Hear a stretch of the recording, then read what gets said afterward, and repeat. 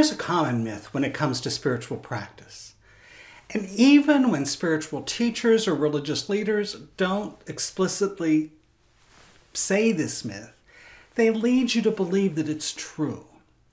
That myth is that incorporating spiritual practice or prayer or meditation into your life is going to be easy. They don't talk about how difficult and challenging it is for most people, or many, many spiritual teachers and religious leaders don't. But a great deal of people have a challenge in incorporating a spiritual practice into their life on a regular basis. And that's what I want to talk about today.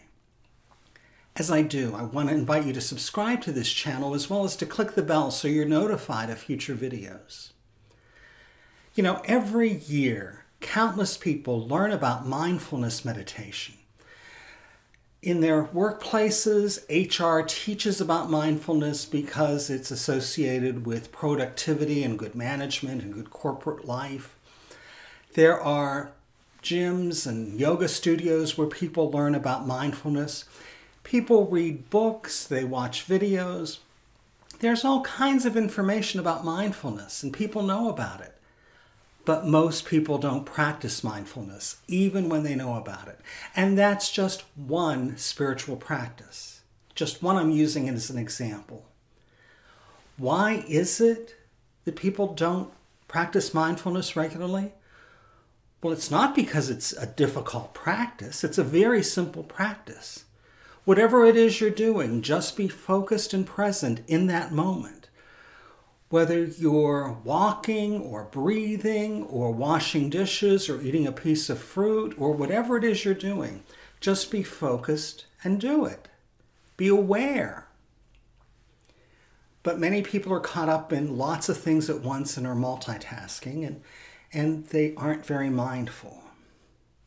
Incorporating the practice is hard. And again, it's not because it's a difficult practice. You know, it's not like you need to know advanced calculus or physics. It's not that you're doing somersaults or handstands. Spiritual practices, by and large, are pretty simple and straightforward.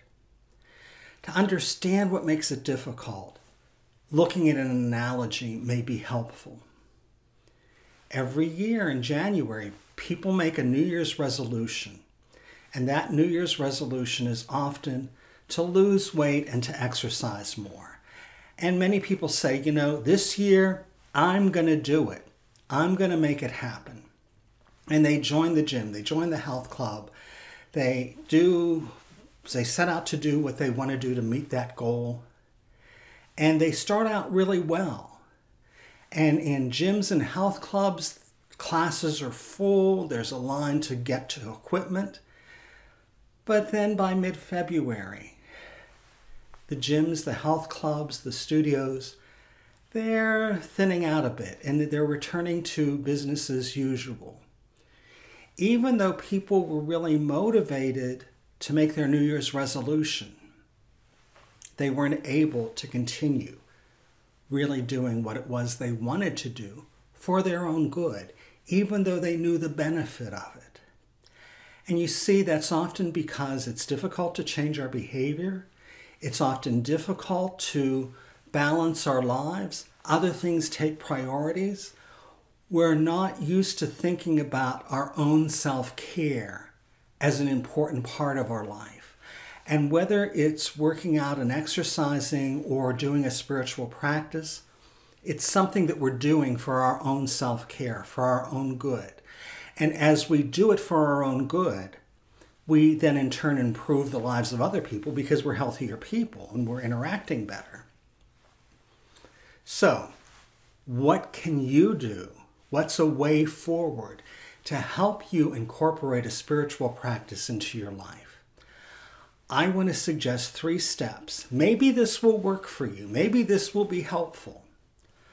The first thing that I think is important is to make a commitment to yourself that you want to do a very particular practice and you're doing it for you. You're doing it for your growth, for your well being, for whatever part of yourself is important to you. So make that commitment. That has to be the first step. Secondly, Make a plan. When are you going to do it? How are you going to do it? Schedule it. Put it on your calendar if you need to. You know, for me, my core spiritual practice is every morning.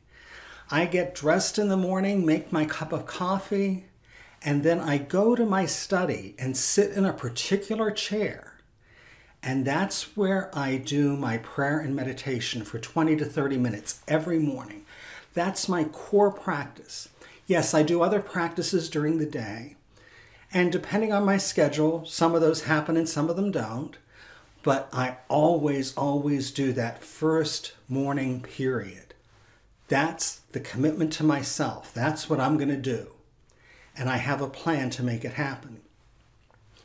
Somebody who sees me for spiritual direction recently told me that their time is at 10 o'clock every night. At 10 o'clock, he does meditation for a half hour.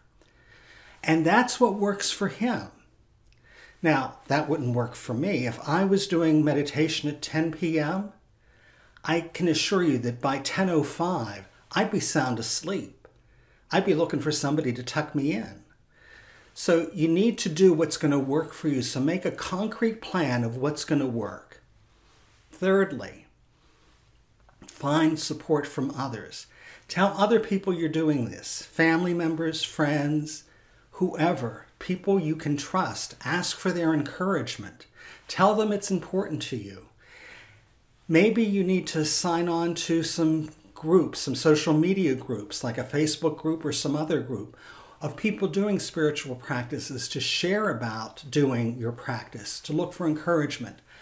Work with a spiritual director. A spiritual director is a great resource to help you refine your, your practice as well as to help you keep yourself accountable. A good spiritual director should help you keep yourself accountable because the commitment you made to yourself is really important.